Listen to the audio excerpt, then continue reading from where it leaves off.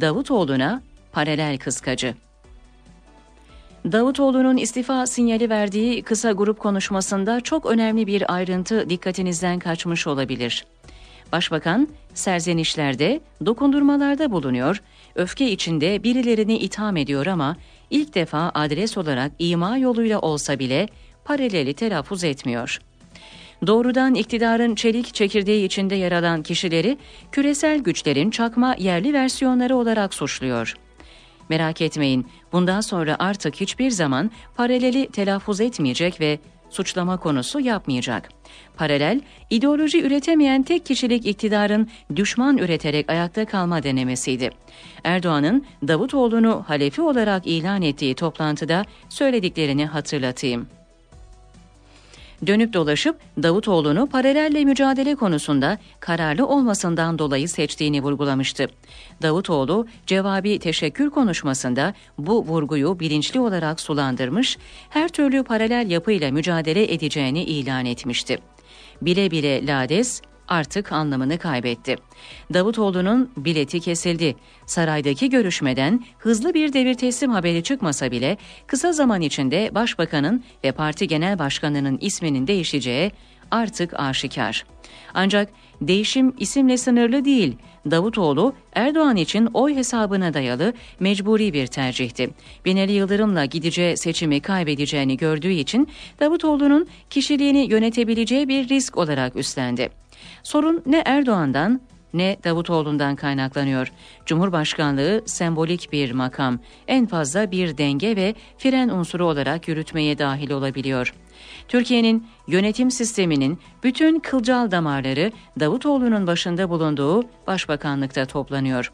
Erdoğan'ın koca saray binasında oluşturduğu koordinatörlükler, başbakanın yönettiği siyasi bürokratik orkestrayı bypass etmeye yetmedi. Erdoğan'ın fiili başkanlık iddiaları da fiilen devlet düzenini yeniden organize edemedi. Erdoğan'ın liderlik iddiasıyla Davutoğlu'nun sorumluluktan gelen yetki iddiası kar topu gibi büyüyen çatışmalarla bugüne kadar geldi. Çatışmayı asıl büyütense Erdoğan etrafındaki kadroların iktidar kaybı telaşı oldu. Reisçiler veya hocacılar ayrımı kişiler değil çıkarlar etrafında bir kutuplaşmayı yansıtıyor. Erdoğan çıkarlarını temsil ettiği seçkinlerin tamamını Cumhurbaşkanlığı şemsiyesi altında güneşten yağmurdan koruyamadığı için isyan kendiliğinden Erdoğan adına asıl gücü elinde bulunduran başbakanı hedef aldı. Davutoğlu neden istiskal ediliyor sorusunun doğru cevabını iktidar nimeti ve postu peşindeki bu kadroların açgözlülüğünde aramak lazım. Kavga büyüyünce liderin liderliğini göstermesi ve kendisi için destek üretmesi kaçınılmaz. Davutoğlu'nun politik yanlışları çok ama kimse arkasından yolsuzluklarla ilgili bir imada bulunmuyor. 17-25 Aralık'la sarsılan AK Parti imajı Davutoğlu'nun namuslu ve dürüst kişiliğiyle dengelendi. 7 Haziran seçimleri Erdoğan'ın başkanlık kampanyasına sahne olduğu için kaybedildi. 1 Kasım'sa Erdoğan'ın sahneden geri çekilmesi ve Davutoğlu'nun kuvvetli istikrar çıkışlarıyla kazanıldı. Şimdi görev tamamlandı. Davutoğlu'nun Başbakanlığının miadı doldu. Erdoğan'ın fark edemeyeceği, fark etse de kolayca kabul edemeyeceği şey Davutoğlu'nun gidişinin AK Parti'de yol açacağı hızlı çözülme.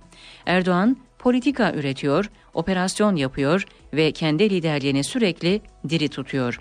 Ama ideoloji ve meşruiyet üretemiyor. Benim ideoloji ve meşruiyet dediğim şeyi siz haklılık diyebilirsiniz. Davutoğlu'nun gidişinin makul ve haklı bir nedeni yok. Gelecek olanların da Erdoğan'ın tercihi olmak dışında bir inandırıcı varlık sebebi olmayacak.'' Erdoğan'la Davutoğlu arasında iç iktidar kavgası kişisel bir kavgayla sınırlı kalmadı. Devletin çivisini yerinden çıkardı. Ekonomiden güvenliğe Türkiye'nin şaftını darmadağın etti. Davutoğlu'nun yerine kim gelirse gelsin toparlamanın çaresi yok.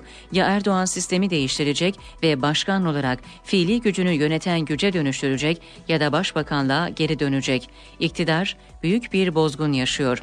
Belki en önemlisi Davutoğlu gibi paraleli dillendiren bir başbakan olmayınca kişisel iktidarın düşman ihtiyacı da karşılanamayacak ve otokrasi hızla irtifa kaybedecek, diyor Yarına Bakış gazetesi yazarı Mümtazer Türköne.